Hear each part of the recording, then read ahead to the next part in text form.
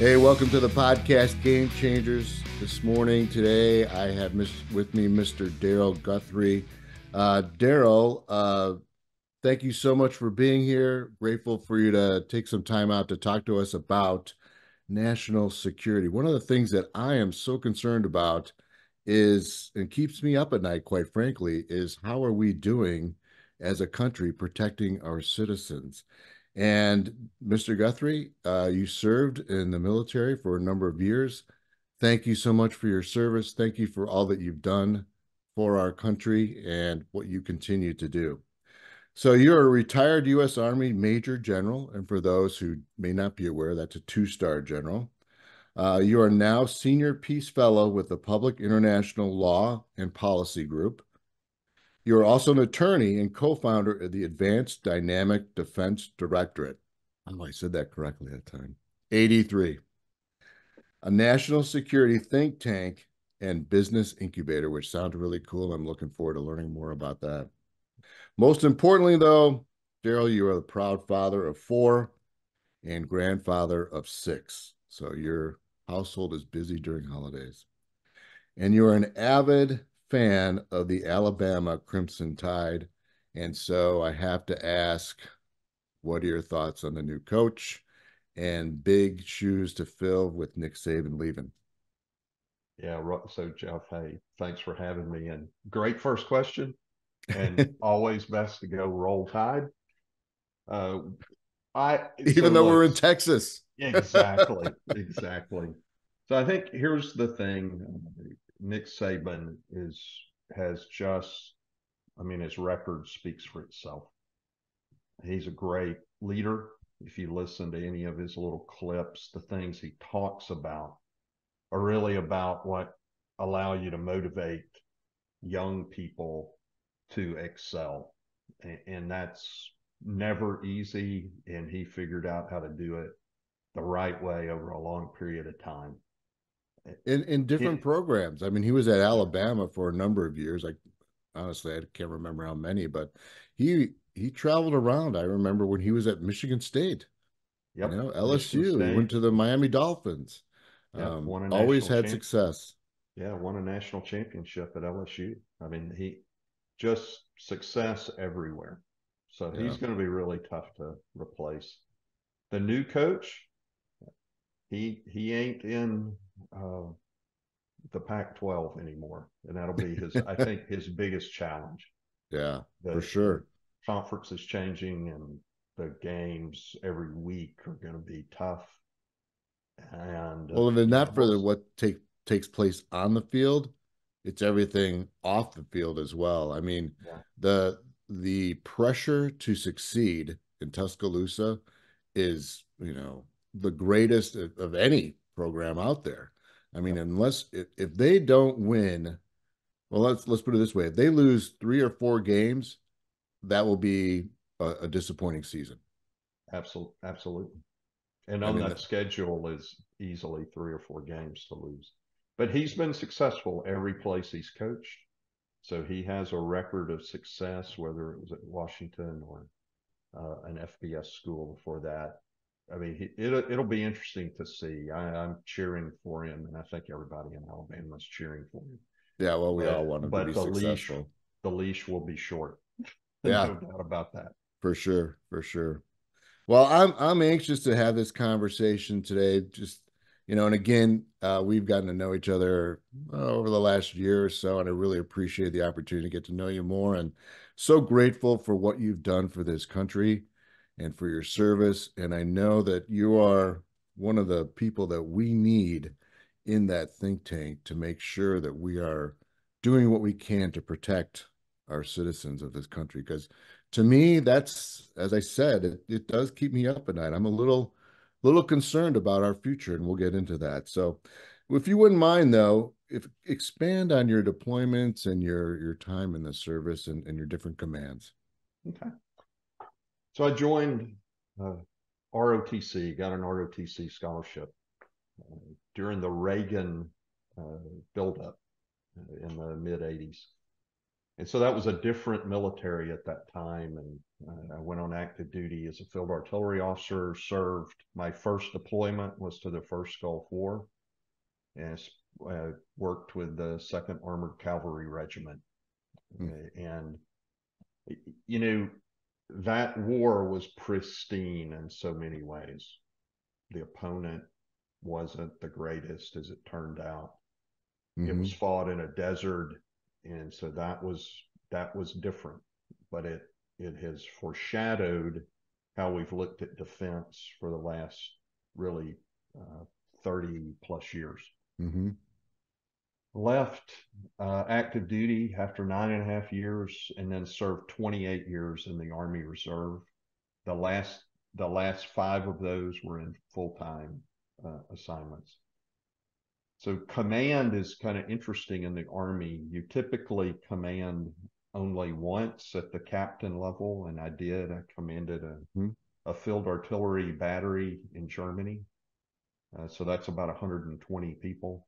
Mm-hmm. Uh, then I, uh, as an Army reservist, I commanded a battalion in Phoenix, Arizona. I commanded a brigade in San Antonio, Texas that supported uh, Army South, which has coverage for Central and South America. And so we did a good bit of work with them supporting that mission. Uh, then I, I commanded a, uh, as a one star, I commanded a unit out in, uh, in Joint Base Lewis McChord uh, in the Seattle Tacoma area. And it okay. was a it was a training organization, and I'd never spent any time doing training, but it was all about training cadets in ROTC and even at West Point. That must have been quite an experience. Did you did yeah. you see a great uh, variation between the cadets? Um, you know, no matter where or de- depending on where the location you were. Like West yeah. Point, I would think that would be, you know, the most, uh, you know, ready to the most advanced set of cadets would be at West Point, right? Well, I think you know, West Point to some degree is a is almost an Ivy League school from an academic standpoint. Right, right. So, you, but you face the same thing no matter where the cadet comes from. Uh, if it's the first time they've really been worn a uniform, and and it usually is, except mm-hmm. for a few that are prior service people as enlisted soldiers.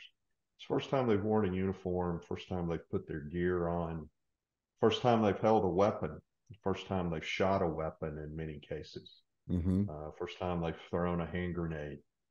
And, and all of those things are basic things that, uh, in my case, I got at basic training at Fort mm-hmm. Knox, Kentucky. But in in essence, you do a lot of that uh, on the ROTC side. It's still at Fort Knox, mm-hmm. Kentucky and at West Point you do it uh, on out at Camp Buckner, which is just uh, right right next door to to West mm-hmm. Point. So you see the same sort of things. You know, you're you know the military's different. It's just different. You're doing you're asked to do some different tasks, and then most of all, you're learning to be a leader. And you know, I was lucky. I even as a cadet.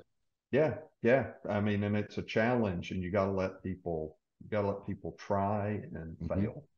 It's the one time when you can let you can let cadets do that. You let them try and fail, and that's how you learn. And I remember I learned a lot as a cadet.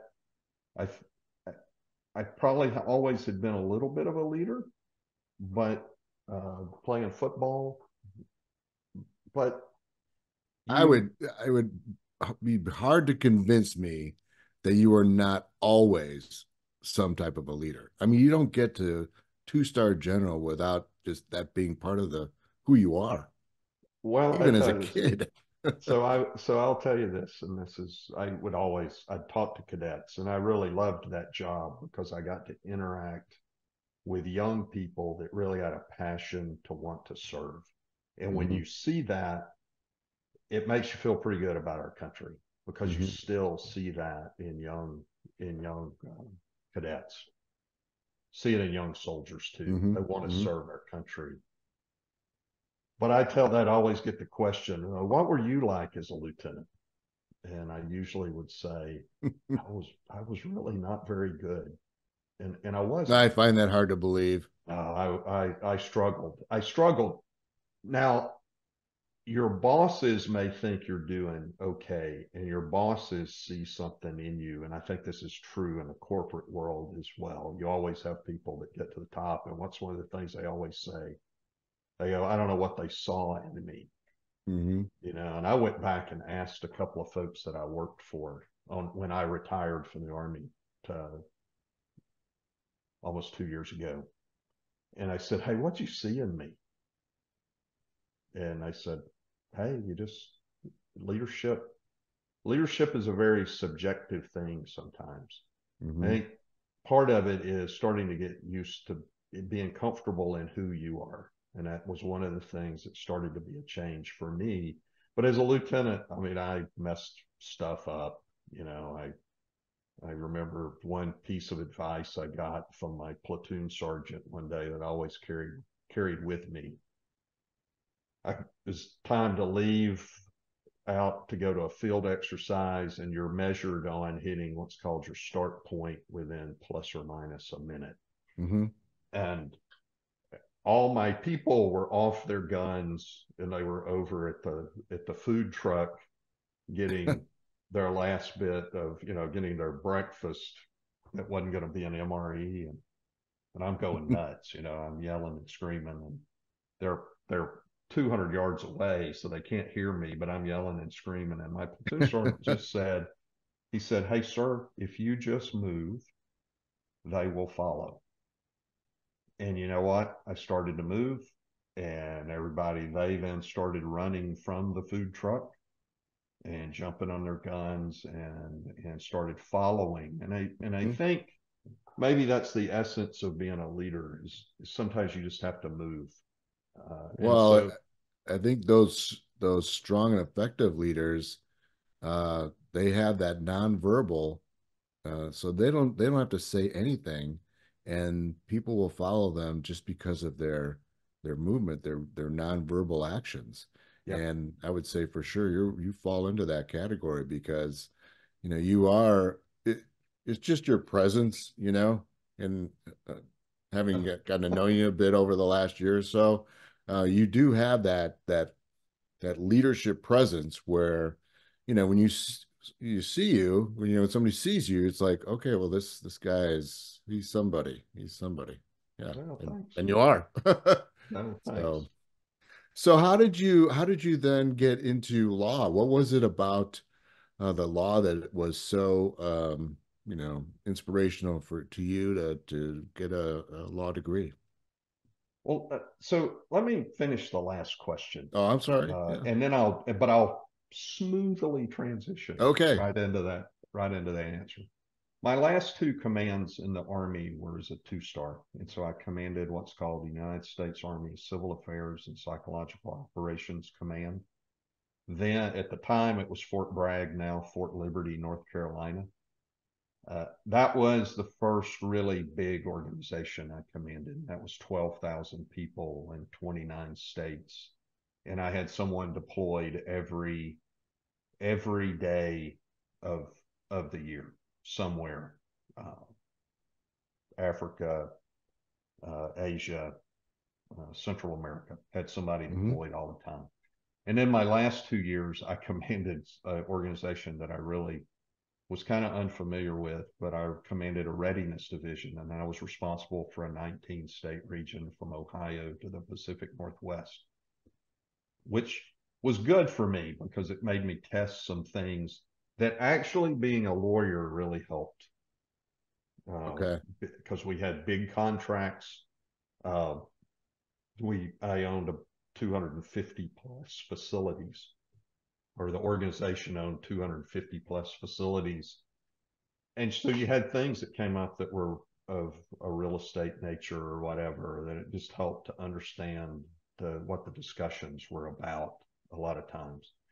But I decided to be a lawyer. I, I always tell people, I think I even told you at breakfast one morning, there was a fellow that went to my church growing up. His name is Bill Noble and he was the only lawyer in the little community we lived in outside of Birmingham. And he just had this presence about him. Mm-hmm. He was the mayor of the town. He was calm. He was cool. He was he he was always busy and working. Mm-hmm. And super level headed, couldn't get flustered. Yeah, yeah. Never saw him any other any other way than just calm and cool. No later, emotion. Later went on to be a judge. He could still be a judge for that matter. But I, what I would say is, is seeing an example of someone, and it just made me think about that. Now, academically, and at, in high school, I was I was a football player, mm-hmm. and I wasn't. I really didn't pay attention to studies, but when I got into college, I, I started to enjoy uh, the idea of learning mm-hmm. and reading. I'd always been a reader, but now I started reading for purpose. And, and so when I finished my active duty time, I told my wife, I said, look, I want to go to law school. Now, I wish I'd have thought about it a little bit more because mm-hmm. there's a lot of different types of lawyers. But I actually ended up being the kind of lawyer that really paid off in the Army. I was a generalist. So I, okay. I did I did uh, bit of everything. Yeah, I did. I worked at a at a district attorney's office doing uh, civil civil work. Actually, mm-hmm. I was the I was the sheriff's attorney and handled things that came out of the jail. Uh, oh, but that was or, interesting. Or employee disputes, yeah. And then I I did uh, I worked for the Public Utility Commission of Texas for a few years as a as a policy guy on telecommunications policy. Then I went into private practice and I did I did uh, family law litigation for about five years. Hardest thing I've ever done because you're dealing with people at one of their most lowest points in life. Uh, what next- a transition from military to being the attorney for a sheriff's office. Now you're dealing with families and all the, the potential dysfunction that can go with a family that is in trouble. Wow, that is, I mean, to me, that seems like opposite ends of the spectrum. Well, it, you know, it kind of, it kind of was, but you, I mean, I, I look at that time as I learned a lot about people. Now, I knew a lot about people from being in the Army, but over time, that really paid off because look, life's about people. It's about mm. relationships mm. and interacting with with people. We kind of lose sight of that, I think, sometimes. Always. But that really paid off as I as I continued to progress in the Army Reserve. This idea of understanding people I think paid off. I, I never will tell anyone I got stuff perfect. But well, if use... you can understand people, that is a big step ahead. I mean, that that will help you in all aspects because then you can begin to read a little bit of what their tendencies are and where and how they make decisions. Yeah. And that will help you significantly. Yeah. And as you, you know, as you progress up in the military, I mean, it, at USAC, at uh, Civil Affairs and Psychological Operations Command, if I slip up and say USACAPOC, that's what I mean, because that's what it's called in the Army. I, I, I had, you know, I had, I had five one-star generals that reported to me. I had innumerable colonels that I had to evaluate their fitness, you know, and, mm-hmm. and if they were going to get promoted again and some of them were because there were wow. five one star positions to be promoted into and, and, so being able to understand people a little bit better then i did some bank now back to the law i did some uh, chapter 11 business reorganization work for debtors i did that for uh, a handful of years and then just and and then working with i my i was in a law firm up in lubbock texas so I certainly worked with farmers mm-hmm. uh, primarily, uh, some couple of ranchers, but mostly farmers in that area. Worked on renewable energy. Uh, uh Interesting. Windmills and solar solar arrays that were going to go Lubbock? on their property. Yeah. Oh yeah, that's the middle of the the Yeah. wind channel uh, in that area. And then I represented, and I still represent uh, Reese Technology Center, which is an old Air Force base that was Mhm. closed hmm and is now a little political subdivision on the outskirts of Lubbock. Uh, and and there's some neat things that go on there to to this day. And so all of those things sort of come together. It's one of the things that um, one of the things actually America should feel pretty good about is the the reserve components, and that includes the National Guard and and either the Army, Navy, Air Force, hmm or Marine Reserve are really populated with people that are, and we call it in the Army being twice the citizen. And so you bring this experience from your civilian job into the military, hmm which allows you to, at times, come up with creative solutions to problems. And and I would tell you, you know, if you know somebody uh, out out in your community that's a a reserve a member of the reserve or the National Guard, you know, pay attention to those people because because they're giving up some time and and they're good at what they do. I Absolutely. I, worked around Mm. some incredible people over 20, 28 years in the Army Reserve, just incredible people that I just shake my head a lot of times about why did how did I get to the two star level? Uh, but it's that's a good. You're very thing, and it's humble. positive for America. Well, I, and and that's good to hear uh, because we need some we need some positive news to make us feel a little bit more secure and comfortable with. At least I do for sure with the current state of affairs. Uh, good transition to the AD3. So this is something that you started, helped start, right? That helped. Yeah. Okay.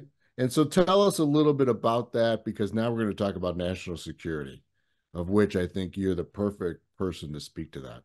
Yeah, I I had a um, a friend that I met up in Lubbock, uh, who uh, he happens to be a lawyer uh, now as well, but he had flown, went to the Air Force Academy, flew F-16s, uh, flew combat missions in in Iraq, uh, and just a great American. Uh, so that's my partner Jeff Mustin hmm A- and and then Jeff uh, had to medically retire from the Air Force because he hurt his neck. Mm. Uh, but he always had this passion for national security, and he so he after his law degree, he's he's worked the last I guess fifteen years now, uh, maybe even more than that, but fifteen anyway. Uh, in the intelligence community, doing doing various things hmm and and he sees i think a little bit about what i've seen for some time and that's that hey it wouldn't be bad if we got a little texas way of thinking about national security uh the the national Amen. you know I, I mean the reality is is there are a lot of decisions that are made inside the beltway of of dc and it doesn't mean that those are you know it doesn't mean that everybody there and I, i've interacted with a lot of folks from from there over the years. My daughter-in-law works since inside the beltway now for rand uh, which is a think tank. Hmm but you know when you're all in one area there is a tendency to start to look at every problem or challenge the same way. And Sure. so jeff and i had Based talked on the environment. yeah, Jeff and I talked for years about, hey, if we're, if once I'm out of the military, and once he's in a different, you know, in a different place in life, we were gonna, we were gonna do something together. We really wanted to work together, and then Jeff over time had met our third partner through the vet, the Veterans Entrepreneurship Program at Texas A&M. So Jose Quintana is the third partner, and Jose So you've got Jeff Mustin and Jose Quintanas. uh, Quint, Quintana. Quintana. Yeah, and and so Jose has been incubating businesses in in the College Station uh, Bryan College Station area, runs runs what's called the Innovation Underground in Bryan, Texas. He's been doing that for 20 plus years. And he's been an entrepreneur himself. So this incubating businesses part of of our mission, that's really where Jose has has done it and done it successfully over time, uh, which means, hey, a lot of those businesses haven't made it. You know, every new startup, most of them probably aren't going to make it. Right.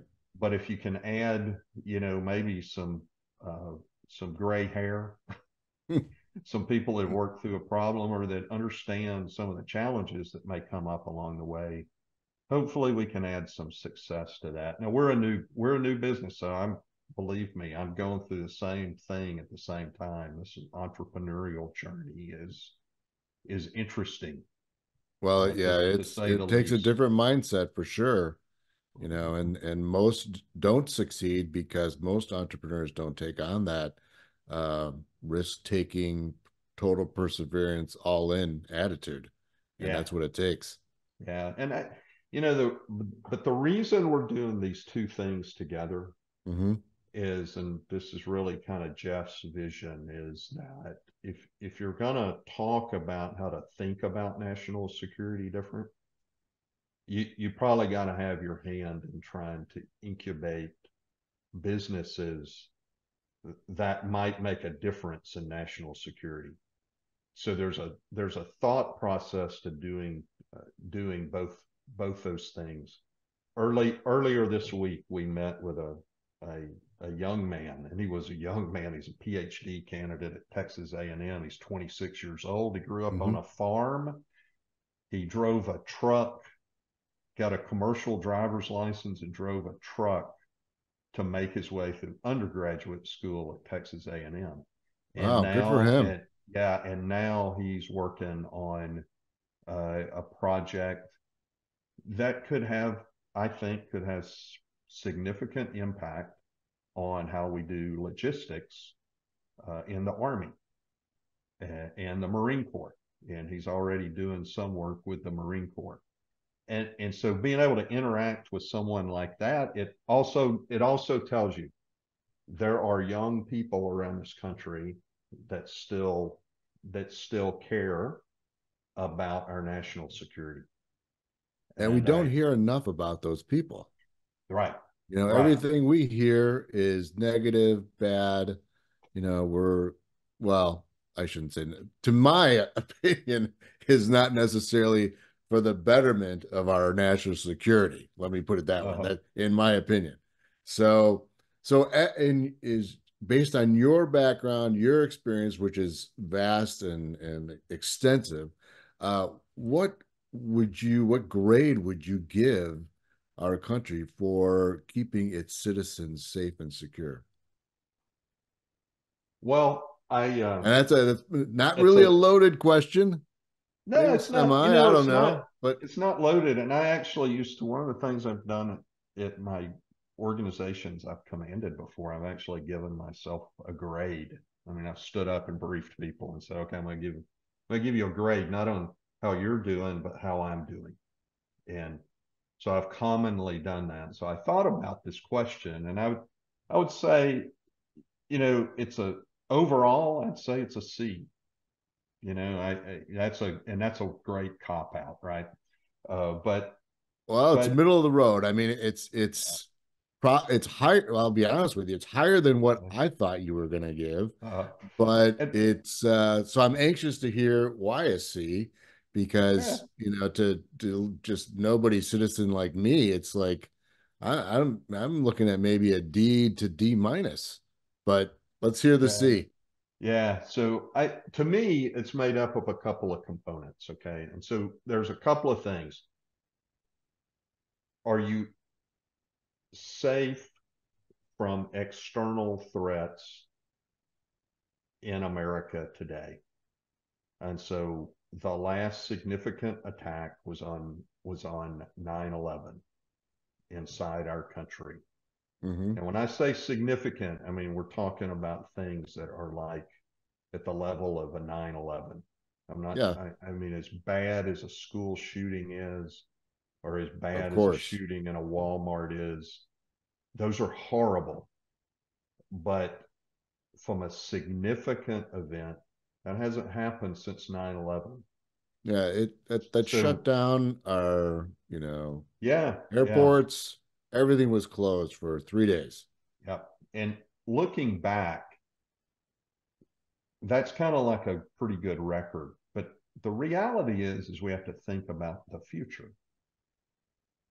And Yep. so while we've been relatively, we've been safe from significant events since 9 11, we'll talk about the future here in a minute.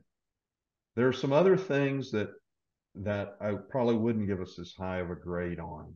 Uh, the the recruiting crisis in the military right now is significant. So now I spoke, you know, I spoke about young people that care about their country in a positive light, and, and now we've got to now we've got to put the talk about the flip side of that. Is right now uh, the Army and the Navy and the Air Force are having significant challenges meeting their recruiting requirements. And So and while we have a number of young people who are um, feel strongly about protecting and serving, we don't have enough. right, We Right. we're very very short. Far have come far short of where we need to be uh, with having that level of um, interest from our young people. And I mean, we could talk about that at length as well. But Yeah. um, that's that to me. That is not surprising that we're at a crisis level. and and there's a lot. And, what- and Jeff, what I would say, and this is my opinion, okay, it's not the Army's opinion or Department of Defense's opinion. These are my thoughts. You know, in my view, too many times we just make excuses. Okay. Did COVID have an impact? Yes. Did the vaccination mandate have an impact? Yes. Uh, is the health and fitness of young people, does it have an impact? Yes. Did we have enough recruiters or not have enough recruiters? Yes. Those are just excuses. You've got to you you've got to work the problem. I mean, I love Apollo 13, right? Everybody our age loves that movie. hmm And it's when Dean, I think his name was Dean Kranz, says, work the problem. Work the problem. Mhm. And and you gotta and it and sometimes it's really hard to work problems. You've got everybody giving you guidance and telling you Yeah. this is what we think, and you set up some committees No shortage of suggestions. Yep. but at the end of the day it's a it's it's about leadership it's about leaders saying we are going to work this problem and we can get to the other side of it but and part of that problem is is we've got to communicate a positive optimistic message about why it's important to serve our nation and so that's a that is a problem because at least in my time in the military, if you don't have the people, it's hard to train at the level you need to train at to be able to have the desired effects, which all add up to readiness. And and so we Without we're having a tough we're having a tough time in that area uh, right now. And then if I if I had to say there was a there's a third problem, there is this uh, malaise. So yep, Afghanistan happened, and it was a you know I spent I I went to Afghanistan once. My second son, who's a major in the army, he went to Afghanistan twice. Uh, he was there not long before it all fell apart, uh, and and and so I you know my heart is is I've been there. I, I've Yeah. been there. I've seen I've seen it. Uh, I led uh, operations um, or the defense support to civil authorities for Operation Allies Welcome at Fort McCoy, Wisconsin, mm-hmm. supporting the the interagency response, and we had thirteen thousand Afghan uh, folks that came processed through there, and you know, and so Afghanistan it wasn't good, and Ukraine isn't good right now. Right. But I and I I think I had some leaders along the way that impressed upon me that the greatness of America is in that we look forward. And the greatness in our army is is we acknowledge we acknowledge our past, but we live in the present and we look forward to the future when Plan it comes to solving problems. So right. in those areas, and then just if you just go around the world, there's some spots that we really don't pay a lot of attention to that absolutely impact us. You know, we we don't pay as much attention to Central Africa mm-hmm. uh, that as as we should, in my opinion, uh, because there are some significant terrorist organizations that operate out of that area. Mm-hmm. Uh, we we don't pay enough attention to the impact of the cartels in Mexico or the impact of the gangs from Central America uh, and some from South America. And it doesn't mean, you know, it doesn't mean any of these of the people writ large are bad people in countries from these areas but there are bad actors that are able to flourish from these areas and we just like any just like anywhere. Yeah how to pay some attention to that. Uh, and then there are the you know then there's still the big problems but we've got to look at least i'll continue to believe this.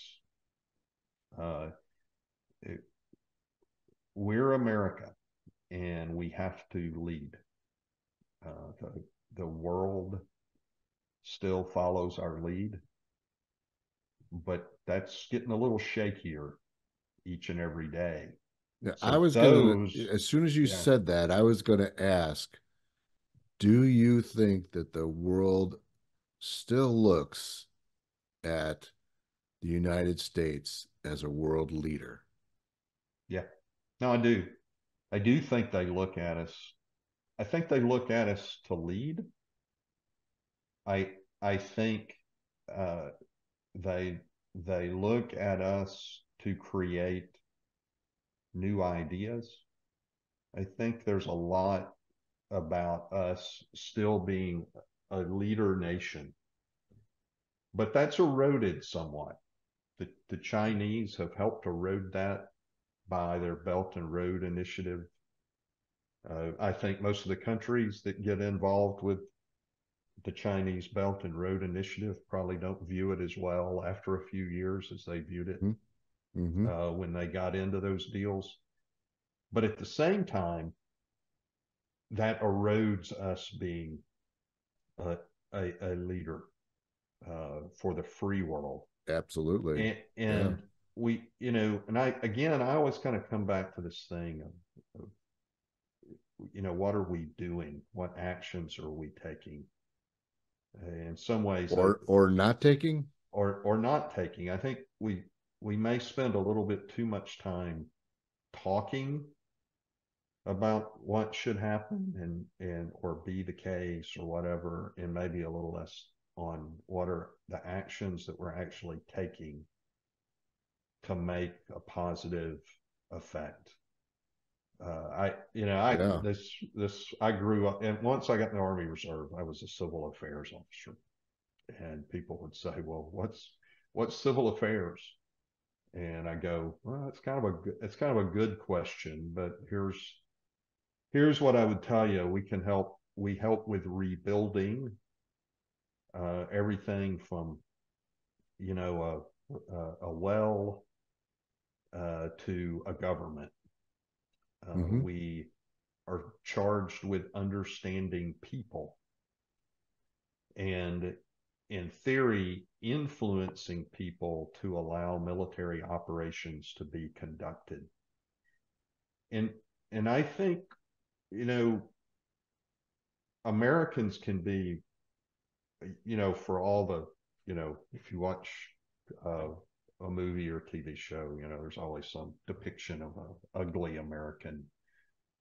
But sure. we're also we're also a country that you know has has blunted tyranny uh, more than once. You know, we're a country that stood by people. We're uh, young people uh, who have a positive influence. You know, when you take a a specialist and you put them in Afghanistan and they're working with uh, a an Afghan soldier of similar rank, there's influence that's going on in that relationship. And I think that's our great I think our great power actually is is to influence. It's this thing of leading by example. If you show people how how we should lead, uh, or how things should be done correctly, or as a lot of people in the military will say, what right looks like. You mm-hmm. can have a very positive impact, whether it's on military operations or how a government acts or whatever. But the but you have to recognize there's a lot of bad people in this world. Yeah, for sure. And they, and they see the world differently. Uh, and it's just got to recognize that. And, and just being good and giving edicts won't solve all the problems. You have to have actions. Right. And all those actions right. don't have to be, by the way, uh, military, kinetic military operations. A, a lot of them can be businesses that do business right in a foreign country. They can be, uh, you know, a soldier who goes who goes downtown in Germany and behaves properly. Mm-hmm. Uh, it you know it can be a, a, a container ship that knows how to dock appropriately in a in a really tough harbor in some part of the world. Mm-hmm. Uh, and it can also be leading, you know, leading by uh, not letting bad guys get away with with their actions. Yes, uh, and, exactly. and but we have to do it responsibly, right? Because because we yes to that too. We're a superpower, yeah. so we we have to do that responsibly. That's all well, hard.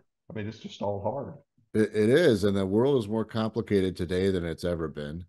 Yep. And we have more uh, terrorist groups than probably we've ever had, and they're they seem to be gaining some some steam, if you will, over the last several years.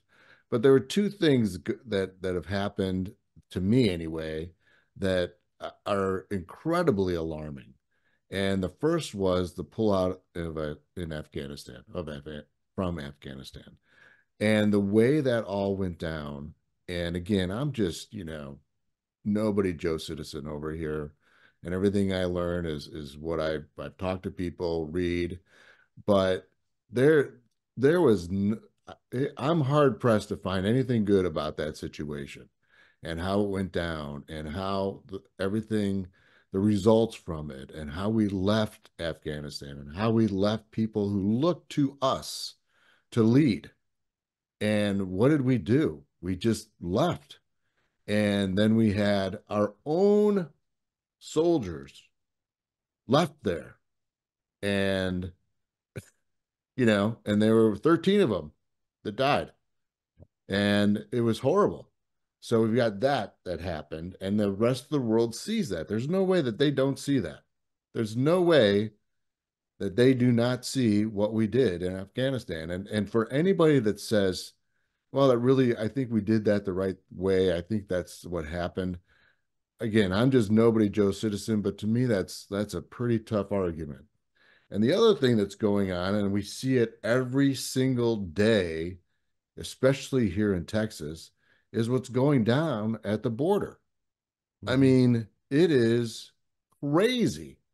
And I had a, a friend who's an elected official asked me a couple weeks ago, "Hey, I'm going down to Eagle Pass. Do you want to come with me?" Because I want to see what's I want to see that for myself. And part of me was like, "Yeah, I want to see for myself too." But then my wife, you know, knocked me upside the head and said, "Are you crazy? Why do you want to go to Eagle Pass? There's there's nothing that you're going to get accomplished down there." And she's, you know, probably right. I I didn't go. So, but what's happening down there again? The rest of the world sees it. There's no way that they don't see what's going on. And I'm sorry, but everybody that's coming across the border is not just, you know, looking for a good job at Target to raise their family. That's just not that's just not the case. You know, when I hear 40% of all children under 12 are being trafficked and all the fentanyl that's coming through and everything else. So those two things to me is kind of lead me to the D to D minus grade that we talked about earlier, and scares me. It really it, it, it keeps me up at night. So I don't know. Help me out. I mean, help me feel a little bit more comfortable here because to me, it's like, are we is what what is some are we on the road for something really bad to happen in this country, or am I just like way out there and not thinking logically? No, you're not so so Jeff, you're not way out there. So you can tell I'm a little passionate about all this. Yeah, yeah. Well, I mean, I think that gets to this question of going forward. What what do we look like? Okay, and I I I I will say this, and this is again, this is a personal, it's a personal belief. I I think we're suffering a little bit right now from not not being able to look at problems differently. Uh, so, uh, but let, us sort of take those two issues up real quick. So, Afghanistan, I think your description of how it's perceived is exactly right. I think uh, the biggest thing was about the perception from uh, someone who might be our ally or partner is that can we can we trust you? Right. Now, the president of Afghanistan left. And, right. you know, so it was our prime minister. I forget what they what they call the head guy, but left. And mm-hmm. uh, it, it, you know, it created a, it immediately then created a void that the Taliban was immediately able to fill. Mm-hmm. But but ultimately, it looked as if that we um, weren't there to support them over the long haul. We we face something very similar right now uh, in the the Ukraine debate. Mm-hmm. Uh, and I you, I feel I feel really, I feel strong about this one that the the president and the leaders in Congress have got to get together and put politics aside and, and examine what this means for the long term. And yes. I'm tell you, yeah. So the people, the people that you hear talk about uh, the impact if Putin was to win in Ukraine, mm. I agree with them wholeheartedly. Mr. Putin is a is a bad, bad actor. Mm-hmm. He doesn't care about anyone but himself he he I think we wraps see mm-hmm. he wraps it up and a lot of other things, but ultimately he's a tyrant. And if you can't stand up to a tyrant, then uh, things naturally flow out of that that aren't good. We've we've stood up to him to this point. I look, I person personal opinion, we owe a much greater explanation to the American people about why Ukraine is important. Uh, and that's that's the president's job. I agree with that because there's too much confusion. People Congress's, yeah, Congress's job is it is you know part of that is to fund uh, part of their job is to fund national security. And yeah. i i just my concern is is that we said as long initially as long as it takes. Now by the way i don't think that's a, that's a strategy but that's my opinion. I would agree with that. Yeah. Uh, then it became as long as we can. And it's like you know we're america we could do either one of those things but we've got to understand we've got to understand why it's important. To me it's important for two reasons. One is uh, leadership. If we're not if we can't do what we say we're going to do then pe- other nations are going to increasingly stop following us our word has Correct. to matter and our word has to matter not by who sits in the office of the president at any given time. Our word has to matter with continuity across time. And yeah. we've we've got behavior. Get, yeah, we've got to get we've got to get that fixed. Yeah, we have we have and, to get an alignment. There's no and, question about that. Yeah, and fixed much much sooner. I had a second point, but it's really the first point that matters. Yeah, no. Well, that matters most. Uh, the border is coloring everything that happens uh, in America. But to your point, you know, the estimates of how many people have crossed, I think the latest uh, uh estimates put that number around 7 million uh, that we've documented. Uh, that uh, or that may also include yeah. those that we haven't gotaways and but overall we're probably looking at maybe eight ten million people so we're adding like the metropolitan city of houston plus mm-hmm. you know to this yep. country throughout and and and if everybody coming through was looking for a better life and and just wanted to provide for their family and do the right thing. And I have, this is the melting pot, right? I mean, we want people from all over the world to come here and live the American dream. Problem is, out of those eight to 10 million people, they're not all coming here to live the American dream.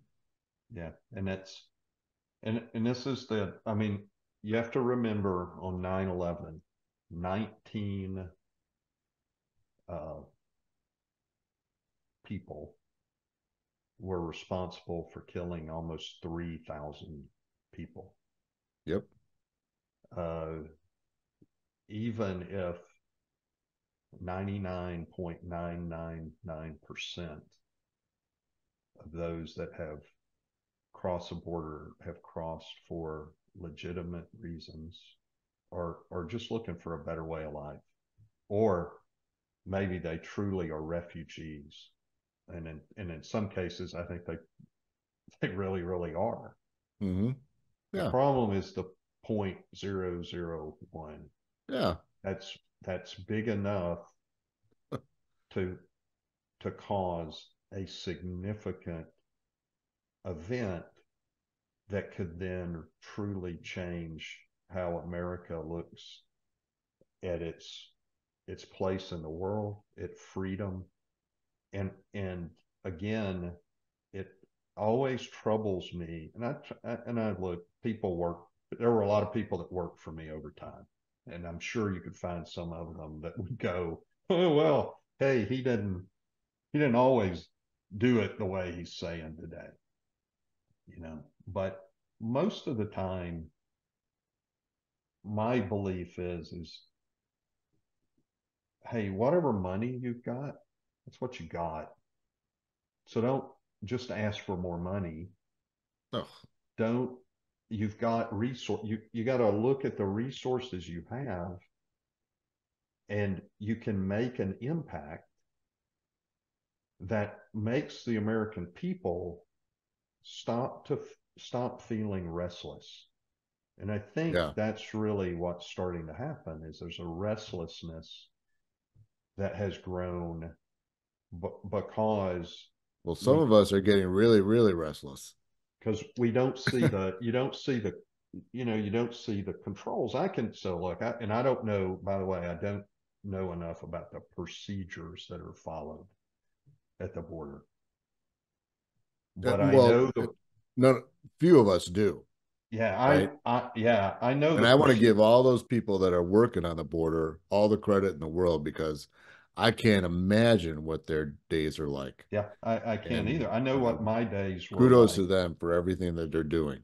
Yeah, I, I do know what my days were like when I received 13,000 Afghans over a eight day period.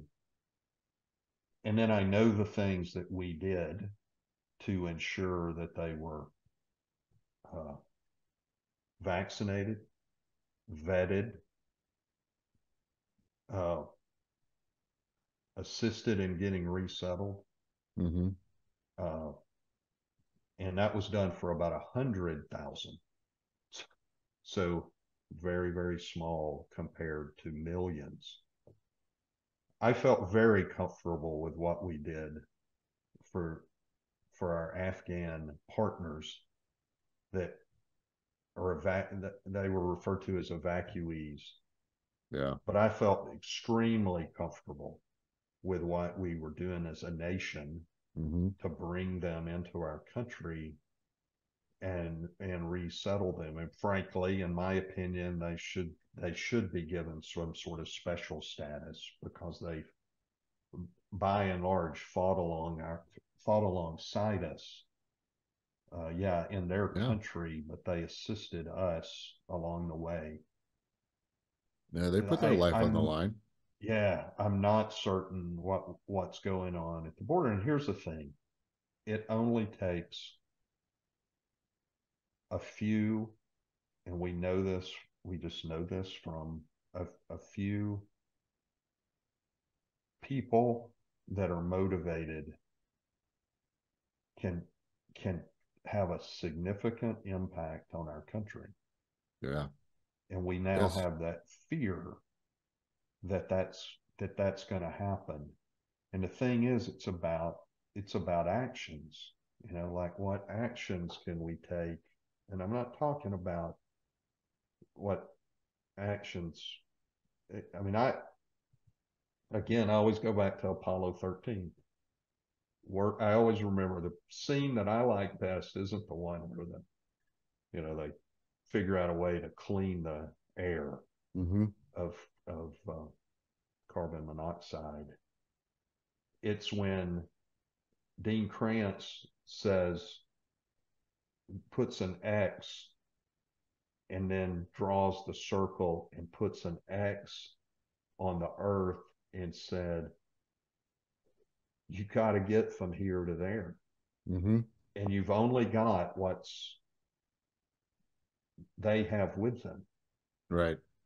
and that's working the problem Work I mean, problem. that's that's working the problem. It's like, yeah, eh, part of being part of being a leader, a senior leader in our government is, yeah, you've got budget responsibilities.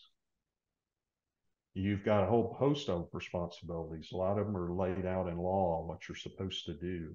hmm Uh, but ultimately, you got a whole bunch of people that are working for you. That is that if you're leading them, you're supposed to be working the problem every day to see the best outcome come for America. Yeah. Uh, and right now, government is struggling. And then some of the decisions that may get made along the way by perhaps more junior people or mid level people, you know, leave you scratching your head But at the end mm. of the mm. day, you've got a certain amount of resources at any given point in time, and you're supposed to deliver a result. It's as simple yeah. as that. Yeah. And I want, I want, I want to be sure to whatever extent we can be sure that we are con- constantly moving forward, as you've said before, to protect what we have. And what we have, our greatest, the greatest part of this country is the people. All of the people that are here, and of course, they're you know bad actors, as you said, but we have to protect our the citizens of this country, and we have to make sure that the United States continues to be the leader in the world, looked at as the leader, that we're trusted, that you know we're going to do the right thing. As the United States, we're going to do the right thing. And I think a lot of people right now are thinking, are we going to do the right thing? I mean, are we are we do are we doing the right thing here? You know, and and I and I yeah. want to be sure that we are, but I think you know, you know, and I think that by and large, we have a lot of great people in charge. We have a lot of great people, but we also have some not so great people and that's i think that's what concerns many of us. So yeah. great discussion. Darrell guthrie thank you so much for being on the podcast. Give us a, a little bit of a tease for the next episode because you're going to come back and we're going to talk leadership. And you are certainly one of those strong and effective leaders. And again your presence alone tells people that you you truly are a leader so give us a little bit of a tease of what we're going to talk about next time as you talk about your uh, five points of leadership.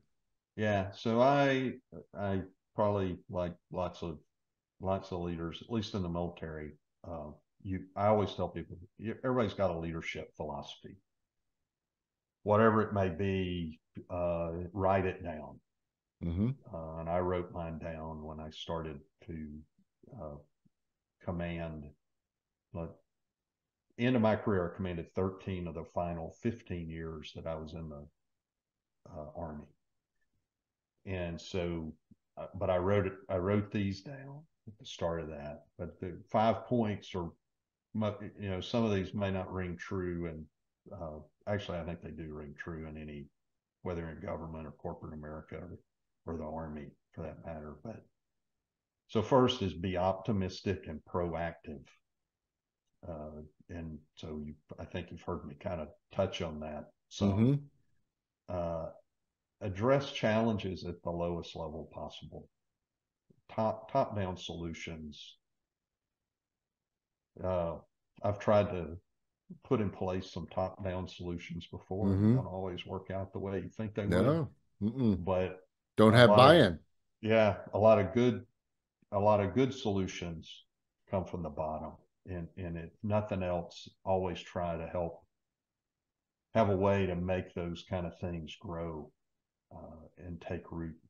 Uh, take administrative and logistics functions uh, to heart or seriously, because to me they're always about people. That's how you're mm-hmm. taking care of people mm-hmm. inside of any organization. That's a people thing. Uh, be willing to look and think and look at things differently.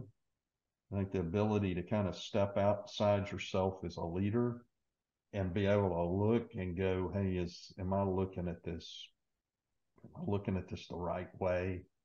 And if you're not able to do it, get some people around you who are yep. able to do that. But the final point, and to me, this is the most important point for a leader, it's I'm not I'm not perfect, and I don't expect you to be perfect, but I expect a lot of myself, and I expect a lot of you. Um, I'll talk about I'll talk about that a lot on our next show. I love that because none of us are perfect in life. No. So, so, get over it, right? Yeah, we're not perfect. we never will be yeah, you're not going to do everything right. And then, right. and neither are your people. You know, your people right. are going to make mistakes. Some of those mistakes you, you can't look the other way on, mm-hmm. but but some you can grow from. and help people grow. And then, strive for excellence. Perfection is elusive.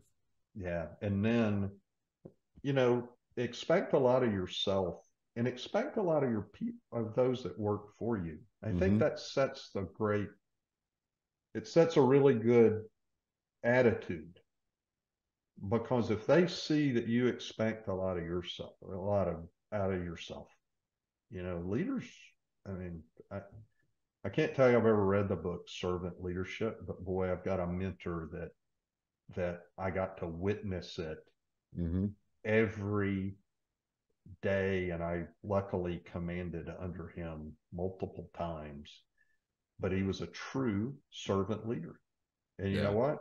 He retired from the military and he became the city manager of Panama City, Florida on a Monday. And on Thursday, the big hurricane hit.